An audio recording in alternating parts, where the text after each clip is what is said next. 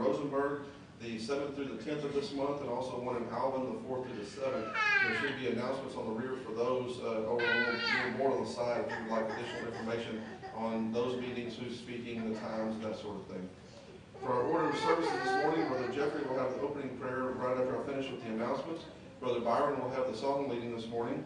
Uh, Brother Wayne will be heading up the table, and assisting him will be Brother David, Brother Jason, Brother Brent, and Brother JD. Brother Rick will have the lesson this morning, and when the time comes, Brother Mickey Bennett will have our closing prayer. Turn it over to Brother Jeffrey.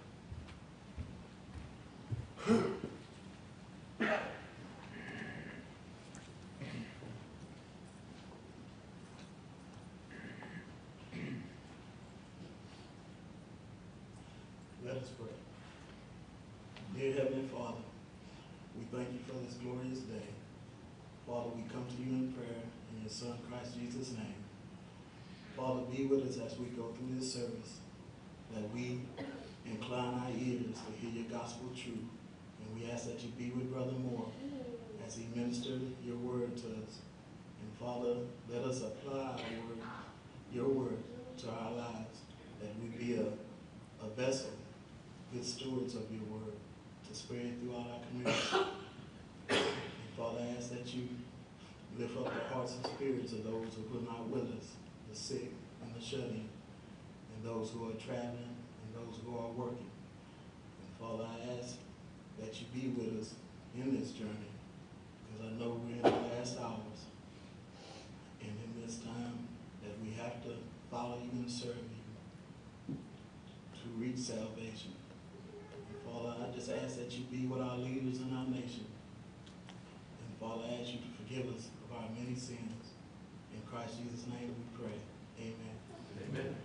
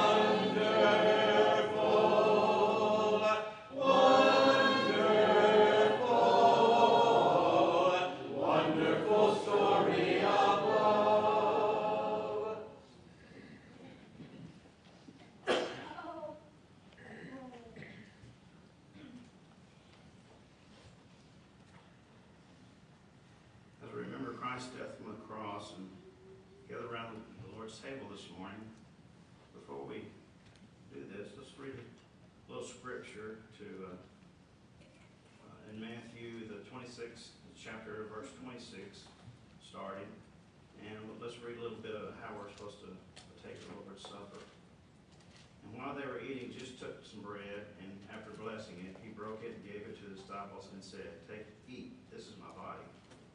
And he took the cup and gave thanks and gave it to them, saying, Drink from it, all of you. For this is my blood of the covenant, which is to be shed on behalf of many for the forgiveness of sin. But I say to you, I will not drink of this fruit of the vine from now until I, until that day when I drink it anew with you my Father's kingdom. At this time, have the men come forward.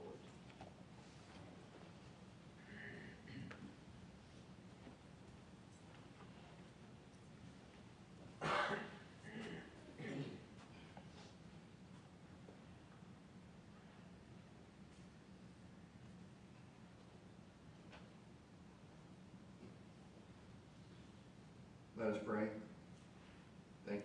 Giving us this bread which, which represents Christ's body that suffered and died on the cross. As we partake of this bread, let us remember that great sacrifice that was made. In Jesus' name, amen.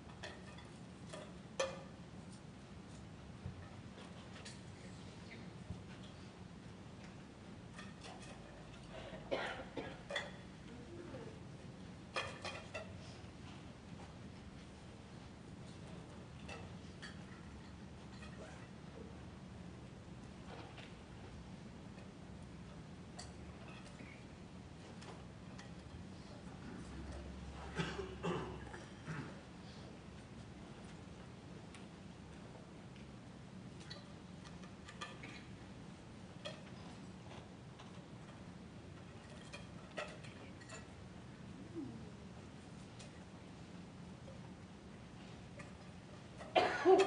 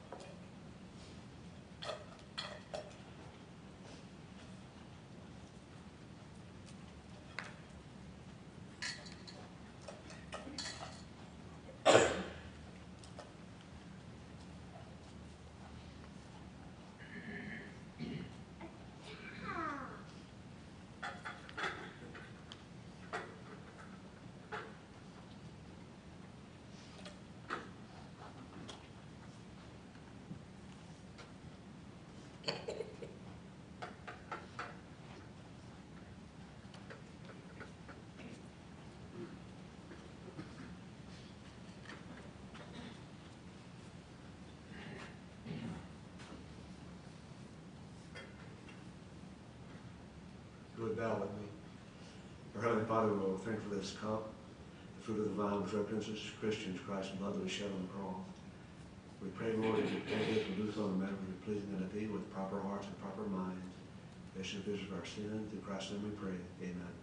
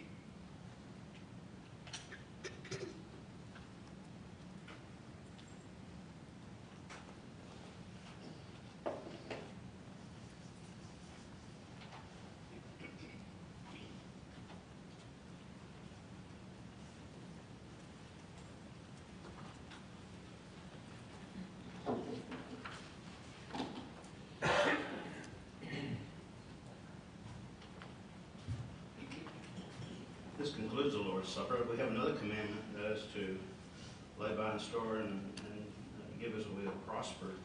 And we can read about this in uh, 1 Corinthians uh, chapter 16, verses 1 and 2. Not concerning the collection for the saints, as we directed the churches in Galatia, so do you also. On the first day of the week, let each one of you put aside and save as he is prospered, that no collection be made until I come. We'll have the prayer.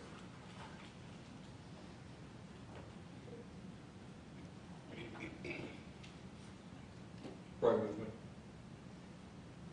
Lord God in heaven, uh, for fifteen or twenty minutes now, I've been wondering what words might come to mind that wouldn't make a feeble prayer by comparison. When I, when I look at the number of blessings that we have in this life and try to find enough words to express gratitude for that much love and, and the amount of good things that you've given us, there just aren't human words to express enough gratitude to even compare. We live in the greatest country in the world that's full of life and food and good health mm-hmm. and blessings just abound at every turn. And we're so grateful to you for every good thing that you've given us. Help us to be grateful. Help us to remember that all things come from you. To give back as you have given so richly to us. Watch over our elders as they see to the use of these funds that are collected help your church grow in the direction you want it to grow, and preferably in great magnitude, Father. That's what we desire, is to have your kingdom grow and thrive. In Jesus' name, amen.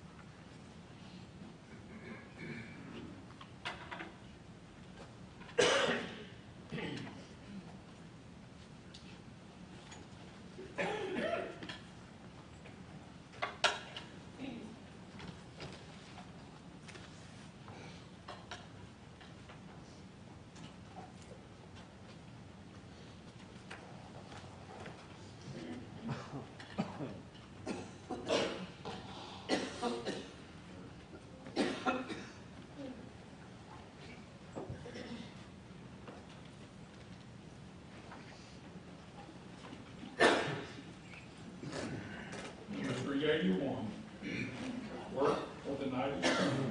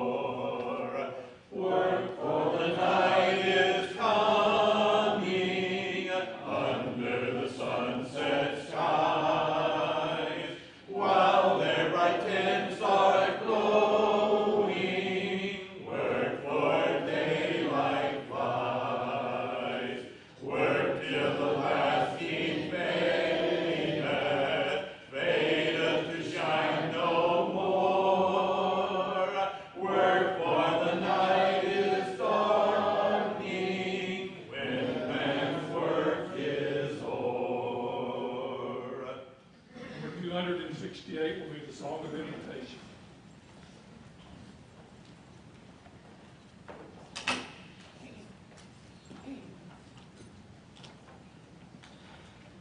you get your songbook marked, be turning your Bibles to the book of Genesis, the first chapter. Genesis chapter 1. Good to have you here today. We have a number of uh, sick people, number of people that are not here, so keep them in mind and let's uh, check up on them. We have a young man with us this morning. His name is Zach Miller. Zach is sitting on the back row, kind of a shy young fellow. He's good friends with the Hardings. And I want to let you know that uh, Thursday night, about 10 o'clock, he obeyed the gospel and was baptized. We had a good number of people here, his family, and so uh, get to know him and meet him. He's been here visiting several times, but uh, make him welcome. I want to talk this morning and tonight about how does God speak to us? How does God tell us what he wants us to do? I've been preaching now a little over 35 years. Uh, I was trying to do some private studies with people for five to seven years before that, so most of my adult life, I've been having private Bible discussions and conversations with people. And uh, I've heard some of the strangest things, and I've heard them over and over and over again. Here's one thing I've heard Rick, the Bible's not a technical manual. Why are you so focused on the details? Why do you look at every word and look at every detail? I've had mass quantities of people tell me the Bible was a love letter. It was not designed for us to look at details. I've other had people say, I read my Bible and I love it, but I'm going to tell you that book was 2,000 years old. And it doesn't really, most of it doesn't apply to us today. So what I want to do, partially because we are finishing the Old Testament, we will uh, flip-flop our singing, and so we will have Bible class. We will be studying Nehemiah 7 and 8 on Wednesday night, the next two Sundays, and we're moving into the New Testament. Now, those of you that have been here regularly, we've been on the, New, the Old Testament for three years. We're Dead batteries. Oh. Okay.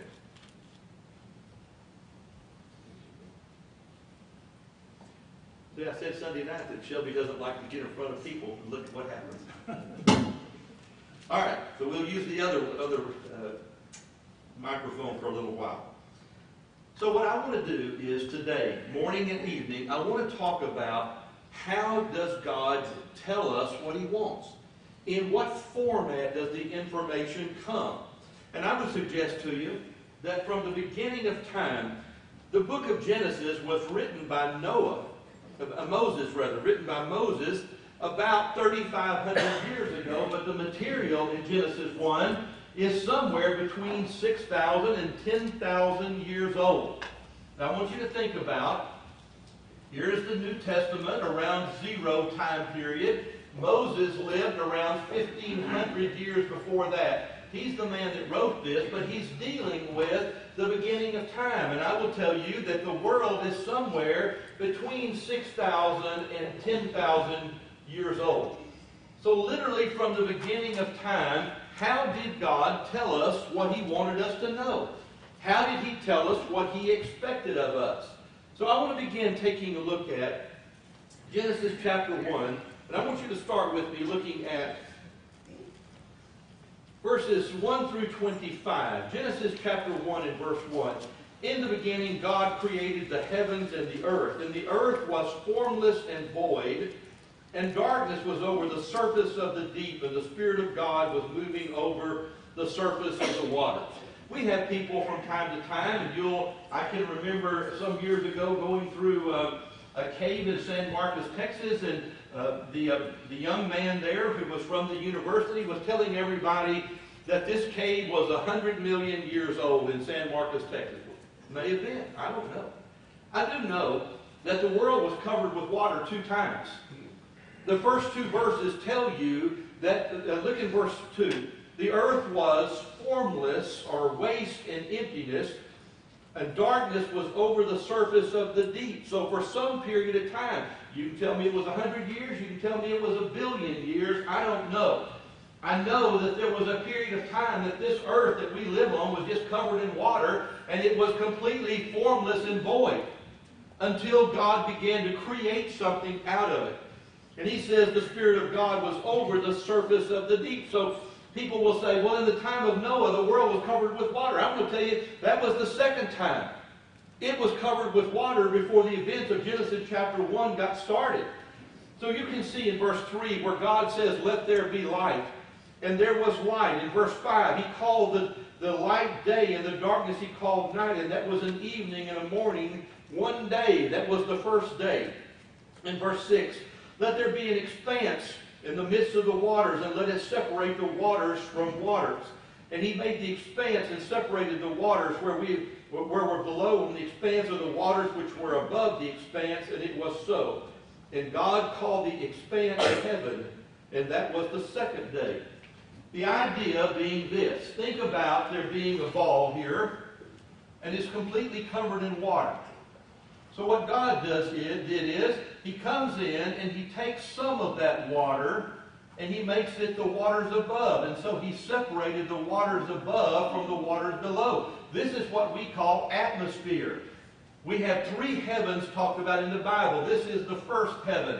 This is the air that we breathe. It's where the birds fly. It was the second, it was the first heaven.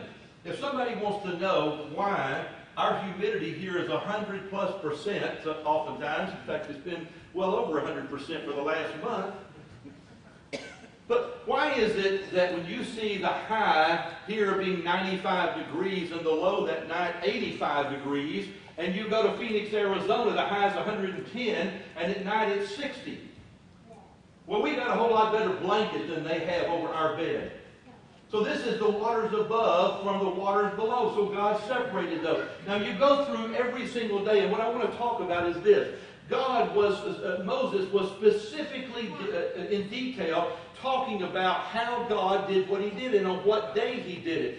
A little bit further, taking a look at that, verses 26 and 7, after God made everything.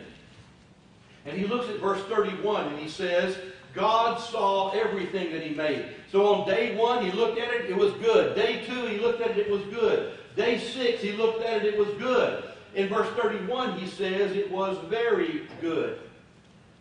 At the end of that, God says, I'm going to make human beings. I first made a place for them to live. I built them a house, and that house is this world that we live on today. But in verse 26, 27, and 28, at the end of the sixth day, or the latter part of that day, he says, God said, Let us make man in our image, according to our likeness, and let them rule over the fish of the sea and the birds of the sky, and over all cattle and all earth, and all creeping things that creep on the earth. And God created man in his own image. In the image of God, he created him and made him male and female. He created them. And God blessed them, and God said to them, Be fruitful and multiply, and fill the earth and subdue it, and rule over the fish of the sea and the birds of the sky, and every living creature that moves on the earth. So after God created the world and created the garden, he now created mankind. In Genesis chapter 2 and verse 6, they had not seen rain. The water was a mist, it says. The mist used to rise up from the earth and water the whole surface of the ground. Then the Lord God formed man of the dust of the ground and breathed into his nostrils the breath of life, and man became a living soul or a living being. When you think about being made in the image of God that Moses talked about, there are two parts to a human being. I can tell you that when a baby is born right here, that baby has a body and a soul. Just like God breathed into the first man, he breathed into his nostrils the breath of life, and he became a living spirit or a living soul. When this child dies one of these days, Ecclesiastes 12:7 tells us what death is. What death is, the body goes where? It goes to the ground where it came from, the same place that Adam's body came from. That's where our body came from. And the spirit goes back to God who gave it. Now we have all of this details about just the beginning of time. And I can tell you, I'm, I have not covered anywhere close to all of it. In Genesis 1.28, God said, I'm going to give man jobs. I'm going to give him jobs that he has to do. In chapter 1 and verse 28, here was the first job that God gave him. He said to him, he's, God blessed him and said, Be fruitful and multiply and fill the earth. That was their first job. Why didn't God make uh, 50 million people at the same time he made Adam? Could he have? Could God have made babies grow on trees and you just go out and pick one? Could he have babies fall out of the sky? He could have done it any way he wanted to, but he chose a very specific way. The human race today, that seven and a half billion people, started with two people. And I will tell you, after the flood of Noah, it went back to eight people. God could, could basically fill this earth any way he wanted to, but he gave that job to man. Look at this a little bit further. In verses, uh, chapter 2, verses 8 and 9. Chapter 2, verses 8 and 9, the Lord God planted a, a garden in the east of Eden, and there he placed man which he had formed. And out of the ground the Lord God caused to grow every tree that is pleasing in his sight and good for food, and the tree of life in the midst of the garden, and the tree of the knowledge of good and evil. The second job, if you read a little bit further down in verse uh, 15, God put him to work cultivating and tilling the garden. So the first job that God gave the human being was to have children. Be fruitful and multiply. The second job was, I've built a garden here and it's your job to take care of it. But there's a third thing that he's going to uh, tell him to do in verse 19. And out of the ground the Lord God formed every beast of the field and bird of the sky and brought them to the man to see what he would call them. And whatever the man called the living creature, that was its name. That's going to be his third job. Be fruitful and multiply and fill the earth. Take care of the garden that I gave to you. And number three, it's your job to look at every single animal that I've created and I have I've built them. And you look at them and you tell me what you're going to call them, Adam. And whatever you call them, uh, that's what I'll call them. And he might have looked at their teeth, he might have looked at their hoofs, he might have felt of them, but somehow he came up with a name. God had a plan. You know what the plan was when he wanted Adam to look at every single animal in the garden? Here is the summary. But for Adam, there was not found a helper suitable for him. God already knew that, but Adam didn't know it. So he needed Adam to do this exercise to realize, hey, I can have a dog and that dog will lick my face, and I can have a horse that I ride, and I can have an elephant that'll pull a tree over, but none of them are like me. And the first time, he says in verse 18, it is not good. And he says it's not good for a man to be alone. Now, when you take a look in verse 22, chapter 2 and verse 22, the Lord God fashioned into a woman the rib which was taken from the man, and he brought her to the man.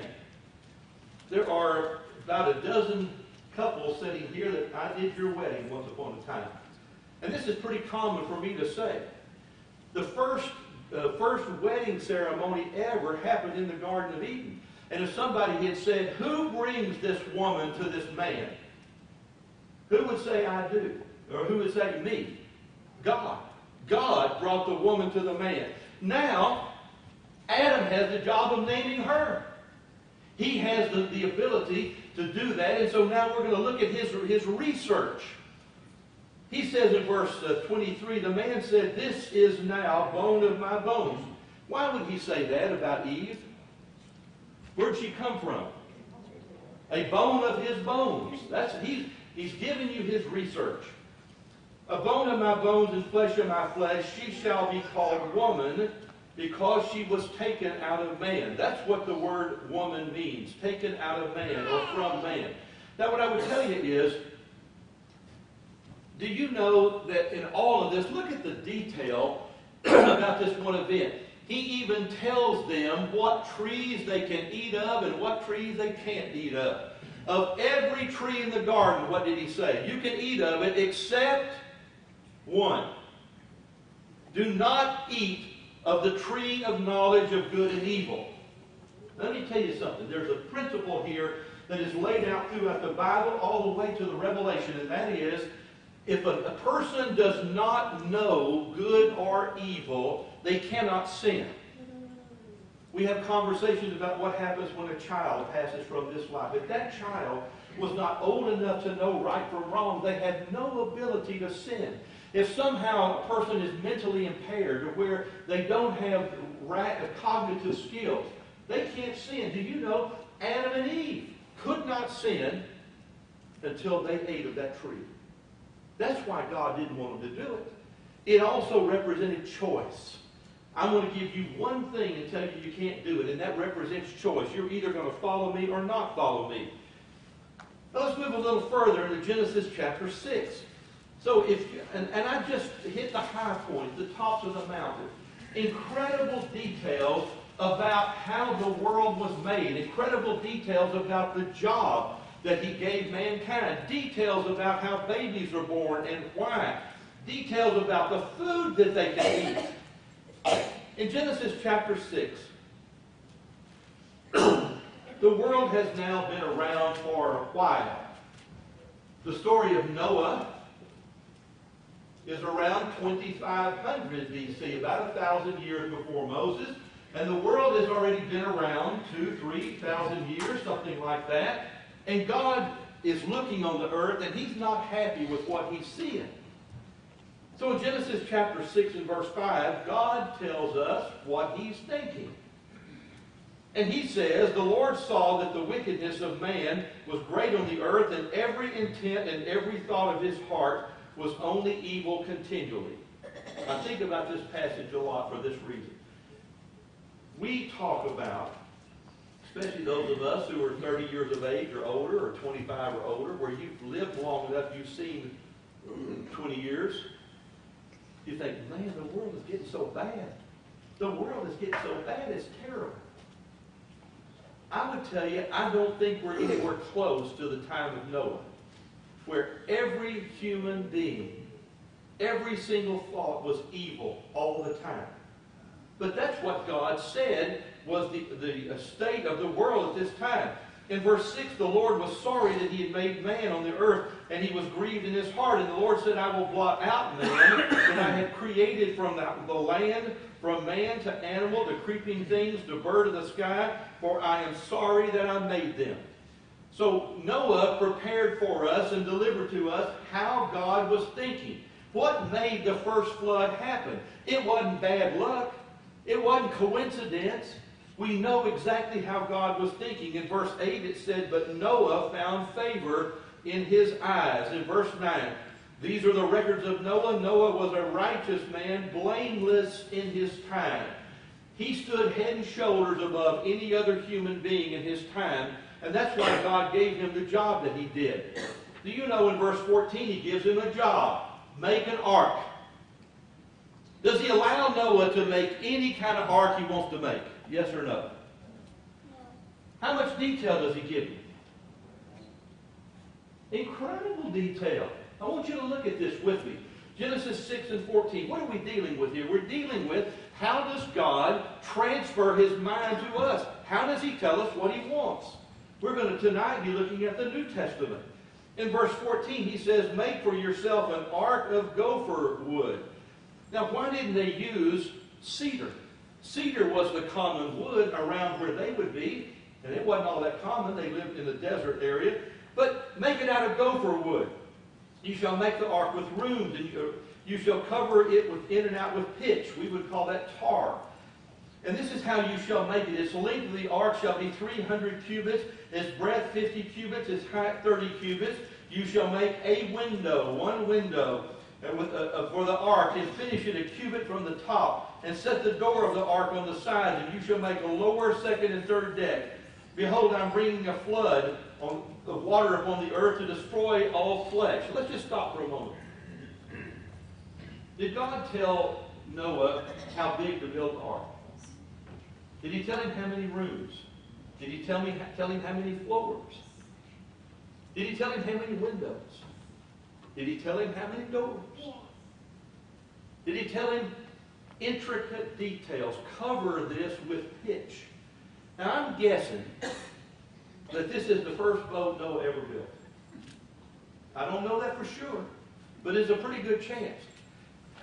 God knows how many animals he's going to bring on this boat, and he's telling Noah how big the boat needs to be and how many floors. Now we go a little bit further in this, and here's what happened. when you take a look at Genesis chapter 6, verses 19, you're going to see he was to bring aboard two of every single animal that lived on the face of the earth. And the purpose was, if you take a look at this, to verse 20, you can see verse 19 and 20. Look at verse 19. Every living thing of all flesh you shall bring two of every kind on the ark to keep them alive with you. In verse 20, of the birds after their kind, and animals after their kind, and every creeping thing of the ground after its kind, two of every kind shall come to you to keep them alive. Now let me tell you why he's stressing all of these animals were to be kept alive, because there were going to be other animals that were not going to be kept alive. Look in chapter 7. Chapter 7, he says in verse 2, You shall take with you every clean animal by sevens, a male and a female, and an animal that are not clean, uh, two males and one female. All the birds of the sky by sevens, male and female, to keep offspring alive. Verse 7 For seven more days I will send rain on the earth. Forty days and forty nights I will blot them out. In verse 5, Noah did as the Lord commanded. You see in verses 1 through 5, there were animals that were on the boat to be eaten. Okay? They were not there to be kept alive. You can see that in some details. That, uh, I believe is where the seven come from. At least that's my take of it. After the flood, what happens after the flood? I'm going to tell you the, the period of time after the flood, the world changed tremendously. I'm going to give you one example of how it changed. This is something that I go over when I'm teaching people the Bible. But I want you to understand this. This is a graph of how long human beings live. Anybody know how long Adam lived, the first man? 930 years. Can somebody tell me who was the oldest living man? Methuselah. Anybody know how old Methuselah was? 969. Somebody's doing their research. So Methuselah lived just before, in fact, uh, probably a generation before the flood. We have the flood. After that, people start living tremendously shorter and shorter periods of time. From 600 years to 250 years in the case of Abraham's father, to Abraham 175 years. You come down here to the time of Moses. Moses lived 120 years. You come down here to 1000 BC the period of time of King David, Moses makes a, uh, Moses in Psalm 90 says, if a man live, anybody know that verse? Three score and ten, or reason of health, four score years. What in, in our day and time, how long was Moses saying the average man was going to live? 70 to 80 years. The last 3,500 years, the average person lives 75 to 80 years. We have built hospitals, we have built urgent care centers. There are more of them than there are McDonald's and Dairy Queen. We have got medication and doctors. How long does the average man today live, man and woman? 70 to 80 years. But this happened after the flood. Let me show you something else that happened after the flood things changed tremendously. In chapter 9 and verse 1, chapter 9 and verse 1, God blessed Noah and his sons and said to them, Be fruitful and multiply and fill the earth. And the fear of you, this is very different. The fear of you and the terror of you shall be on every beast of the earth and on every bird of the sky, with everything that creeps on the ground and the fish of the sea. Uh, into your hand they are given. I want to just stop for a minute. In Genesis chapter 2, how did Noah get giraffes and hippopotamuses and rhinoceroses and tigers and lions onto the ark? How did he get them on there? They came to him. They came to him. That's what Genesis 2 says. After the flood, he says, I'm going to put the fear of animals, uh, of fear of human beings in the animals. Also, he says in verse 3 every moving thing that is alive shall be food for you. Had it been food for them before the flood? He's going to show you in a minute, all the way back to Genesis 1. Look at what he says here. Verse 3 Every moving thing that is alive shall be food for you. I give all to you, as I gave the green plant. If you turn back to Genesis chapter 1 and verse 29, you're going to see that for thousands of years, every human being ate plants. Genesis 1 and 29. Behold, I have given you every uh, uh, plant yielding seed on the surface of the earth, and every tree which has been fruit yielding, it shall be food for you.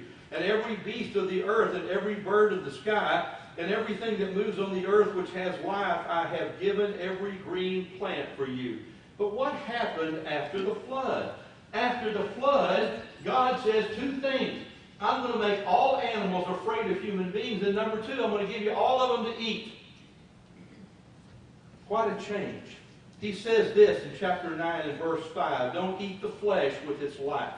Any of you that are hunters, you know what it's, what it's talking about when you bleed an animal out. Don't eat the blood. Now he says this, uh, in taking a look a little bit further. Both animals and human beings were protected by God by covenant.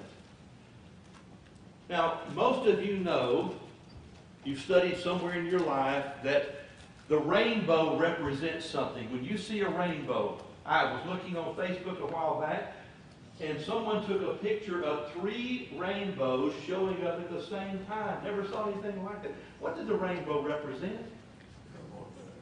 That God would never again destroy the world with water. Here's the trick question. Who did he make that covenant with? I want you to look at this with me for a minute. In Genesis chapter 9, in verse 12, Genesis 9 and 12. And God said, This is a sign of the covenant which I am making between me and you and every living creature that is with you for all successive generations. I will set my bow in the cloud, and it shall be a sign of covenant between me and you. And it shall come about when I see the cloud over the earth, I will bow down, uh, shall be seen in the cloud, and I will remember the covenant which is between me and you and every living creature of all flesh. Who did God make this covenant with now? Every single thing on earth, every man and every animal. Well, let's go a little bit further now. So look at the detail, and I'm skipping, just skimming over the top. But do you see the incredible detail that God gives us about what He was thinking and why He did what He did? In Exodus, the 12th chapter. In Exodus chapter 12, the next big thing that God wanted human beings to build. I've always found it a little bit curious why God didn't just have things fall out of the sky. Why did He always have human beings build it? Why did He have human beings a part of the process? Always. From the having of children, we have a number of young ladies here that are about to have children. That's how God set it up from the beginning of time, and He tells us that in detail. Genesis chapter 12, uh, Exodus, I'm sorry, Exodus 12 and 1. The Lord said to Moses and Aaron in the land of Egypt, This month shall the beginning of months for you. It shall be the first month of the year. Speak to all the congregation, saying, On the tenth of this month, each of you are to take a lamb for themselves according to their father's household, a lamb for each household. Verse 5 Your lamb shall be an unblemished male, one year old, that you may take it from, uh, or you may take it from sheep or goats. Without going through detail, they were about to have a celebration. God tells them the day of the month. He tells them what kind of animal they can use. He tells them how old the animal is to be. He tells them that it is to be without blemish. Do you know how long this feast lasted? It lasted till the time of Jesus Christ. Now, people might say, but that was so long ago. That was so long ago. If I'm going to tell you, in the period of time we're studying, we're sitting here at 600 years before Christ, 500 years before Christ. What we're studying right now in the book of Ezra, Nehemiah, and Esther, a thousand years after Moses wrote this law. Did details matter to the people who were coming back to form this nation that had been wiped out? You better believe it. If A thousand years didn't mean anything to God. The details matter. Now you can see he made the decision that he was going to destroy the nation of, of Egypt. there were ten plagues. The tenth plague, the last and final plague, was what? Can somebody tell me what the tenth plague was? The death of every firstborn animal and human that did not have blood over their door. Now I'm going to show you that in just a minute. So he says to them, I want you to take this lamb on this particular night, and I want you to take the blood and put it into a, a vessel. And I want you to take a little hyssop bush, and I want you to, to paint the top of your door with this blood. And I want you to stay in your house. Do not go out of your house at this night. You stay in the house. Now here's what he says in chapter 12, verse uh, 13. And the blood shall be a sign for you on your house where you live, and when I see the blood, I will pass over you. That's where the word Passover came from. The offering of the Passover lamb. It started, uh, you can see it earlier part of this. And no plague, verse 13, will befall you to destroy you when I strike the land of Egypt. In Exodus chapter 13 and verse, let's take a look at verse 7. Exodus 13 and 7. Verse 6, Six days you shall eat unleavened bread. On the seventh day there shall be a feast. Verse 7, unleavened bread shall be eaten throughout the seven days. He wanted their system purged of leaven. So for seven days before you eat nothing but leaven shall be seen among you, nor shall leaven be seen among you in, in your, your borders. And you shall tell your sons on that day, saying, It is because the Lord did for me what the Lord did for me when I came out of Egypt, and it shall be uh, serve as a sign to you on your hand, and remember on your forehead that the law of the Lord may be in your mouth. With a powerful hand, the Lord brought you out of Egypt in verse 14. This is a powerful passage. And when your sons ask you in time to come, saying, What is this? What are you doing, Dad? I don't understand. What is happening here? What is this? Then you will say to him, With a powerful hand, the Lord brought you out of Egypt from the house of slavery. And it came about when Pharaoh was stubborn about letting us go that the Lord killed every firstborn in the land of Egypt, both firstborn of man and firstborn of beast. In verse 16, it will serve as a sign. Even, even the most powerful man in the world, his son died that very same night. So you had a period of time here in the capital of Egypt where there was a division. Over here were where the slaves or the Hebrews lived. Over here were where the Egyptians lived. That night when the Lord passed over, every single house that had blood over the door, what did he do for it? He passed over it. Every single uh, house that there was no blood on it, what happened? The firstborn of every child and every animal died. Did it matter that these people over here didn't believe in God? Did it make any difference? No, it made no difference at all. The wailing and the crying was so loud, it was deafening over here when the Lord passed over. But he went into great detail telling them how do you avoid this problem. Tremendous detail. You slaughter the animal like you like I told you. You put the blood here. You, you transfer the blood to your door and you stay in your house because the blood was the coverage. It was the safety. And he talked about that in great detail. Exodus chapter 25. Here's the next thing that God decided He wanted built. So, around nine months after the time that the children of Israel had uh, crossed over the Red Sea, and they had gone down to the southern part, what's called the Negev, or South Country. So you think about, here's a picture of the Sinai Peninsula, and Mount Sinai right here. From the, where they crossed the Red Sea, here's the Jordan River. So this took them around nine months. They will spend close to a year down here in the bottom part near Mount Sinai. I want you to look with me in Exodus chapter 25. So what he's doing is these people had been slaves for 430 years. But they leave with all kinds of stuff, like they had won a war. Nine months later, God tells them, I want you to do something. What I want you to do is give back to me what you want to give back. You can give back or not. It will be a free will offering. I want you to look at this in verse, this is chapter 25 and verse 2. Tell the sons of Israel to raise a contribution for me from every man whose heart moves him. You shall raise my contribution, and this shall be the contribution that you raise. Gold, silver, bronze, purple, uh, blue, purple, and scarlet material, fine linen, goat hair, ram skin, dyed red uh, porpoise skins, acacia wood, on and on and on. Was he detailed about what he wanted them to give? Incredible detail. Verse 9. According to all that I'm going to show you, the pattern of the tabernacle and the pattern of all of its furnishings, so you shall construct it. And they shall construct an ark of acacia wood. So he tells them exactly the dimensions you'll see here in just a moment in verse 10.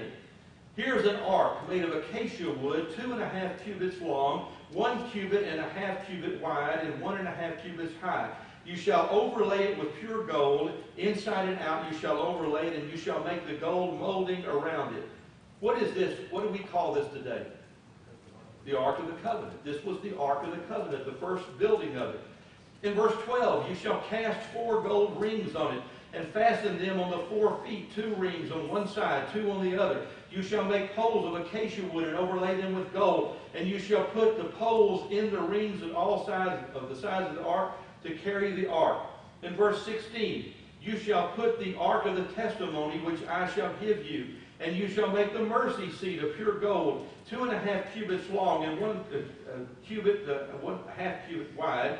And you shall make two cherubim of gold, and make them of hammered work, all the ends of the mercy, at the ends of the mercy seat. You can go through here the next number of chapters and look at the incredible details. God said, I want you to make a couple of lamps that would look something like this. He told them exactly what he wanted the ends to look like. He told them he wanted exactly a certain type of pole. He told them exactly where the oil was to come from to keep these going. Does it surprise you that he gave that kind of detail? And you can read over and over by chapter 28. They're going to make uh, they're going to make a uniform for the first high priest. His name was uh, Aaron. Intricate detail on what his uniform was to look like. Why? Why did God use that kind of detail? Let's go a little bit further. The table, lampstand, the pattern. Now, people say oftentimes, yeah, but you know, that was the Old Testament. God was like that in the Old Testament, but he wasn't. He's not like that in the New Testament.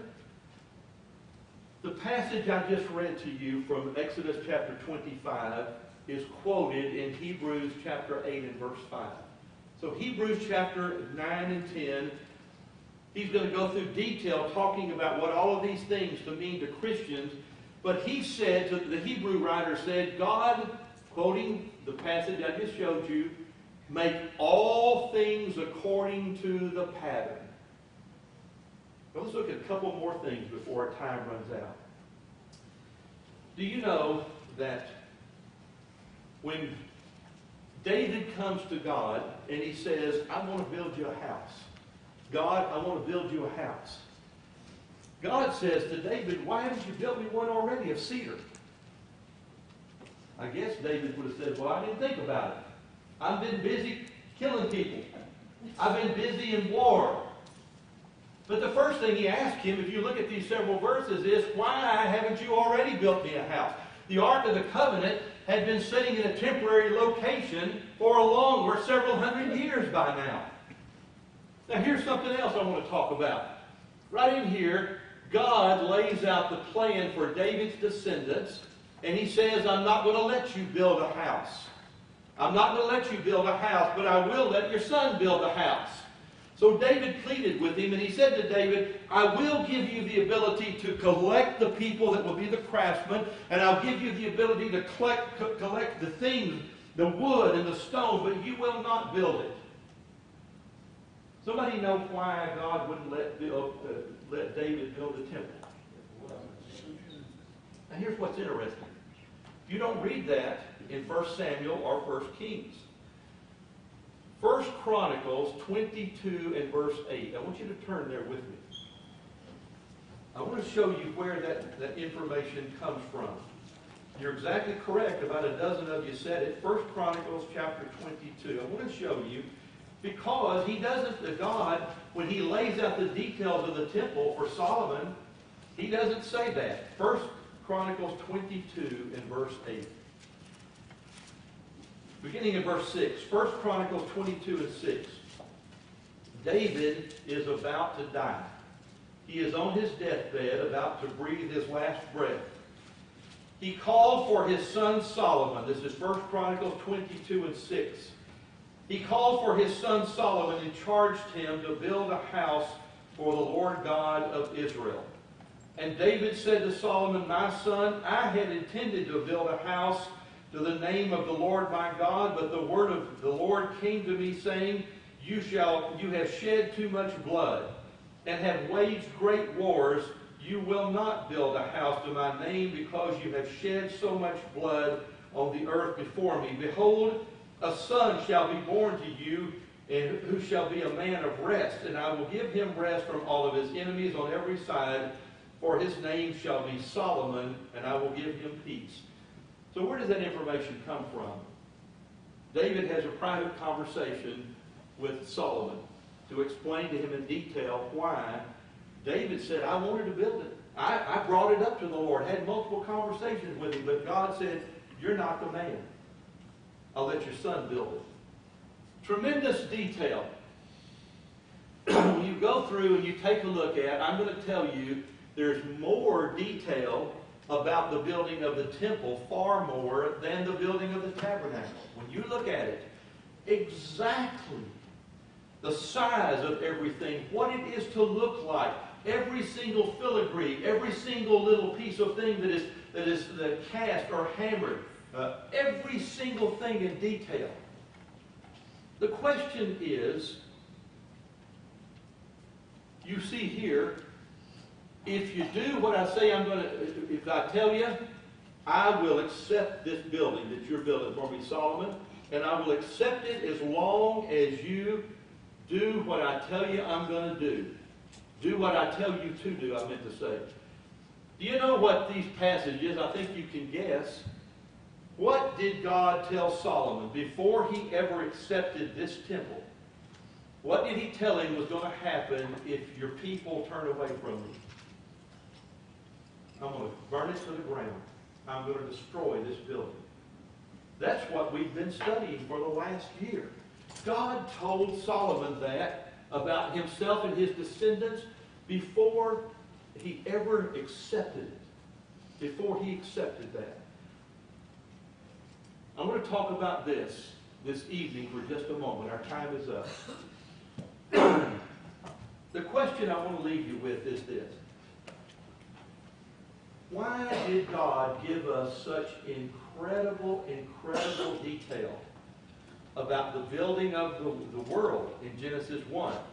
about the work of man in Genesis 2, about where children were going to come from, from. Why did he tell us in detail why he was going to bring the flood? Why did he talk about in great detail the size of the boat?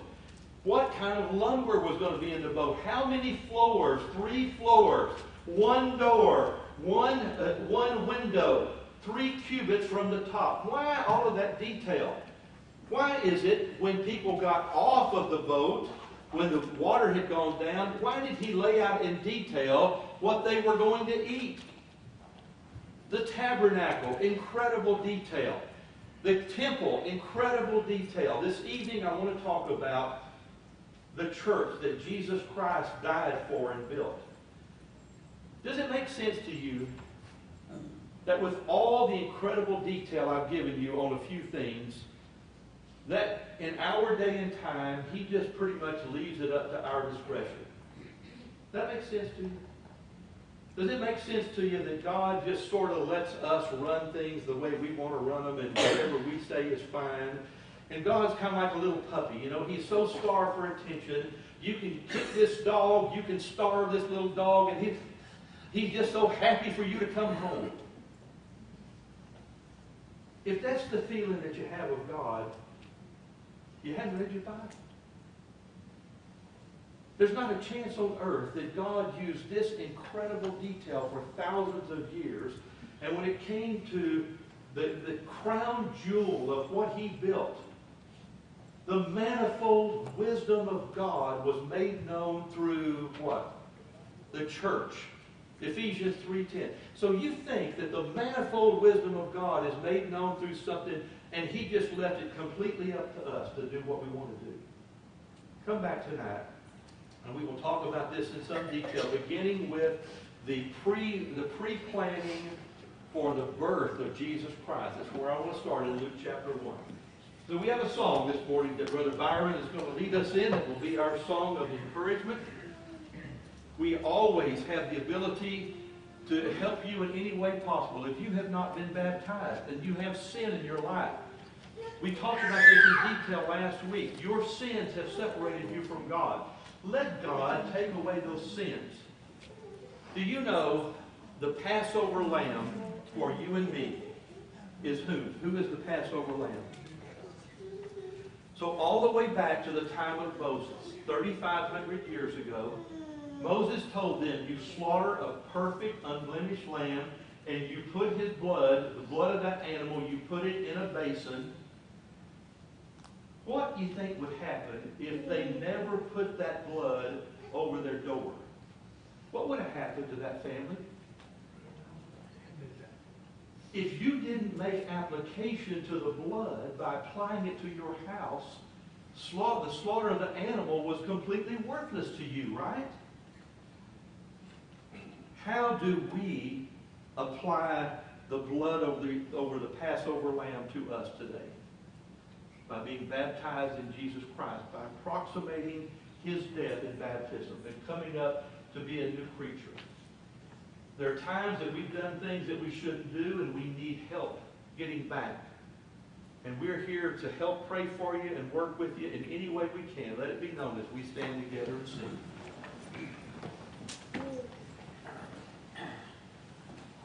The gentle voice of Jesus